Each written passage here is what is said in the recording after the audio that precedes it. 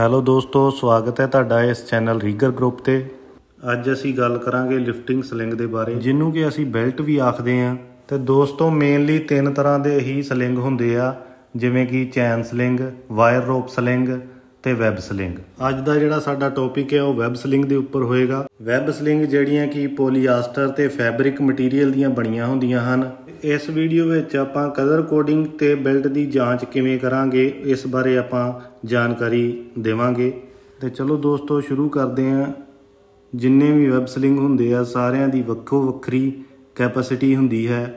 ਇਸ ਲਈ ਦੋਸਤੋ, ਅਸੀਂ ਕਲਰ ਕੋਡ ਤੋਂ ਹੀ ਪਛਾਣ ਸਕਦੇ ਹਾਂ ਕਿ ਜਿਹੜੀ ਅਸੀਂ ਬੈਲਟ ਯੂਜ਼ ਕਰਨ ਜਾ ਰਹੇ ਹਾਂ, ਉਹਦੀ ਕੈਪੈਸਿਟੀ ਲਿਫਟਿੰਗ ਕੈਪੈਸਿਟੀ ਕਿੰਨੀ ਹੈ?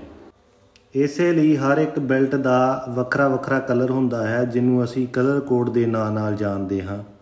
ਕਲਰ ਕੋਡ ਤੋਂ ਵੀ ਸਾਨੂੰ ਪਤਾ ਲੱਗਦਾ ਹੈ ਕਿ ਇਹ ਬੈਲਟ ਕਿੰਨਾ ਭਾਰ ਚੁੱਕ ਸਕਦੀ ਆ। ਹੁਣ ਅਸੀਂ ਵੇਖਦੇ ਹਾਂ ਕਿ ਕਿਹੜੇ-ਕਿਹੜੇ ਕਲਰ ਦੀ ਕਿੰਨੀ ਕਿੰਨੀ ਕੈਪੈਸਿਟੀ ਹੈ, ਜਿਵੇਂ ਕਿ ਰੈੱਡ ਕਲਰ ਦੀ ਕਿੰਨੀ ਹੈ ਗ੍ਰੀਨ ਕਲਰ ਦੀ ਕਿੰਨੀ ਹੈ ਬਲੂ ਕਲਰ ਦੀ ਕਿੰਨੀ ਹੈ, ਇਸੇ ਤਰ੍ਹਾਂ। ਤੇ ਦੋਸਤੋ ਕਲਰ ਕੋਡ ਦੇ ਨਾਲ-ਨਾਲ ਸਾਨੂੰ ਇੱਕ ਹੋਰ ਚੀਜ਼ ਵੇਖਣ ਦੀ ਲੋੜ ਹੁੰਦੀ ਆ। ਜਿੱਦਾਂ ਕਿ ਇਹ ਸਾਡੇ ਕੋਲ ਇੱਕ ਬੈਲਟ ਹੈ, ਇਸ ਦੇ ਉੱਪਰ ਕਾਲੇ ਧਾਗੇ ਦੀਆਂ ਲਾਈਨਾਂ ਹਨ। ਇਸ ਦਾ ਮਤਲਬ ਜਿੰਨੀਆਂ ਕਾਲੀਆਂ ਲਾਈਨਾਂ, ਓਨੇ ਟਨ। ਮਤਲਬ ਇੱਕ ਲਾਈਨ 1 ਟਨ, ਦੋ ਲਾਈਨਾਂ 2 ਟਨ, ਪੰਜ ਲਾਈਨਾਂ 5 ਟਨ। ਤੇ ਚਲੋ ਦੋਸਤੋ, ਹੁਣ ਅਸੀਂ ਚਾਰਟ ਦੀ ਮਦਦ ਨਾਲ ਵੇਖਦੇ ਹਾਂ ਕਿਹੜੀ ਬੈਲਟ ਕਿੰਨਾ ਭਾਰ ਚੁੱਕ ਸਕਦੀ ਹੈ। ਸਭ ਤੋਂ ਉੱਪਰ ਤੁਸੀਂ ਵੇਖੋ ਵਾਇਲਟ ਕਲਰ ਹੈ ਉਸ ਦੀ ਕੈਪੈਸਿਟੀ 1 ਟਨ ਹੈ। 2 ਨੰਬਰ ਤੇ ਜਿਹੜੀ ਬੈਲਟ ਹੈ ਉਸ ਦਾ ਕਲਰ ਗ੍ਰੀਨ ਹੈ ਤੇ ਉਹਦੀ ਕੈਪੈਸਿਟੀ 2 ਟਨ ਹੈ। ਇਸੇ ਤਰ੍ਹਾਂ ਯੈਲੋ ਕਲਰ ਦੀ 3 ਟਨ ਗ੍ਰੇ ਕਲਰ ਦੀ 4 ਟਨ ਰੈੱਡ ਕਲਰ ਦੀ 5 ਟਨ ਬਰਾਊਨ ਕਲਰ ਦੀ 6 ਟਨ ਬਲੂ ਦੀ 8 ਤੇ ਔਰੇਂਜ ਦੀ 10 ਟਨ ਕੈਪੈਸਿਟੀ ਹੈ। ਹੁਣ ਦੋਸਤੋ ਤੁਸੀਂ ਧਿਆਨ ਨਾਲ ਵੇਖਿਓ ਕਿ 10 ਟਨ 12 ਟਨ 15 ਟਨ ਜਾਂ 16 ਟਨ ਤੇ ਉਸ ਤੋਂ ਵੀ ਉੱਪਰ ਦੀਆਂ ਸਾਰੀਆਂ ਵੈਬ ਸਲਿੰਗਾਂ ਦਾ ਰੰਗ ਔਰੰਜ ਹੀ ਹੁੰਦਾ ਹੈ। ਹੁਣ ਦੋਸਤੋ, ਤੁਸੀਂ ਸੋਚਦੇ ਹੋਵੋਗੇ ਕਿ 10 ਟਨ ਤੋਂ ਉੱਪਰ ਦੀਆਂ ਸਾਰੀਆਂ ਬੈਲਟਾਂ ਦਾ ਰੰਗ ਜੇ ਔਰੰਜ ਹੁੰਦਾ ਹੈ, ਤੇ ਸਾਨੂੰ ਕਿਵੇਂ ਪਤਾ ਲੱਗੂਗਾ ਕਿ ਇਹ ਬੈਲਟ ਕਿੰਨੇ ਟਨ ਦੀ ਹੈ ਜਾਂ ਇਹ ਬੈਲਟ ਕਿੰਨਾ ਭਾਰ ਚੁੱਕ ਸਕਦੀ ਹੈ? ਤਾਂ ਜਿਵੇਂ ਕਿ ਦੋਸਤੋ, ਮੈਂ ਤੁਹਾਨੂੰ ਪਹਿਲਾਂ ਵੀ ਦੱਸਿਆ ਹੈ ਕਿ ਸਾਨੂੰ ਕਲਰ ਕੋਡ ਦੇ ਨਾਲ-ਨਾਲ ਕਾਲੇ ਧਾਗੇ ਦੀਆਂ ਲਾਈਨਾਂ ਨੂੰ ਵੀ ਦੇਖਣਾ ਚਾਹੀਦਾ ਹੈ।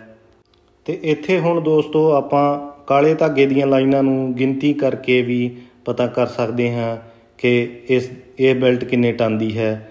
ਤੇ ਇਸ ਤੋਂ ਇਲਾਵਾ ਹਰ ਇੱਕ ਬੈਲਟ ਦੇ ਉੱਪਰ ਉਸ ਦਾ ਟੈਗ ਵੀ ਲੱਗਿਆ ਹੁੰਦਾ ਹੈ ਤੇ ਆਪਾਂ ਉਹ ਟੈਗ ਨੂੰ ਦੇਖ ਕੇ ਵੀ ਚੈੱਕ ਕਰ ਸਕਦੇ ਹਾਂ ਕਿ ਇਹ ਬੈਲਟ ਕਿੰਨੇ ਟਨ ਦੀ ਹੈ। ਤੇ ਚਲੋ ਦੋਸਤੋ, ਹੁਣ ਸਾਨੂੰ ਕਲਰ ਕੋਡ ਦੇ ਬਾਰੇ ਤਾਂ ਪਤਾ ਲੱਗ ਗਿਆ। ਹੁਣ ਅਸੀਂ ਅੱਗੇ ਵਧਦੇ ਹਾਂ ਕਿ ਵੈਬ ਸਲਿੰਗ ਦੀ ਜਾਂਚ ਕਿਵੇਂ ਕਰਨੀ ਹੈ।